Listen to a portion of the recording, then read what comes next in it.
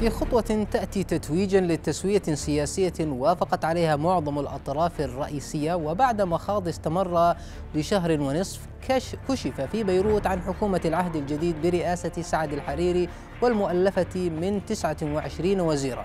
أول حكومة في عهد الرئيس ميشيل عون عنوانها العريض الوفاق الوطني.